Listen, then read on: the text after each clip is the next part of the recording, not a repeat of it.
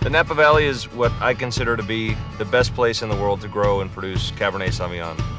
My family's been here since the 1850s and they started farming shortly after arriving and soon enough got into growing grapes and eventually Cabernet.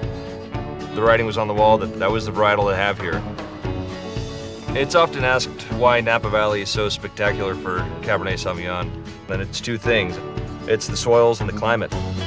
Every night, especially during summer and fall, this fog rolls in and engulfs the entire Napa Valley with this cooling effect, and then it starts to recede throughout the day as the sun rises.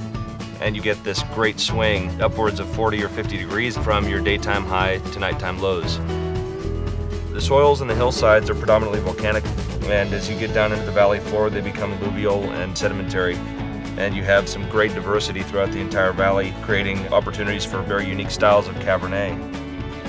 Our philosophy with the Napa Valley Quilt Cabernet Sauvignon was to take the best regions and join them together to create an amazingly balanced style that encompasses all of Napa Valley. We're sourcing from as far north as Calistoga, which is one of the warmer regions, down into St. Helena, Rutherford, Oakville, and finally down to Coombsville and Napa, and incorporating the hillside areas of Atlas Peak and Howell Mountain.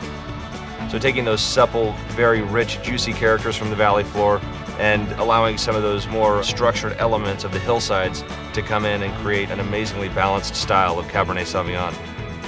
In effect, what we're doing is taking the patchwork of Napa Valley and joining it together into one quilt that we feel best encompasses the region as a whole. Incorporating these different soil types and climate areas into one overall blend.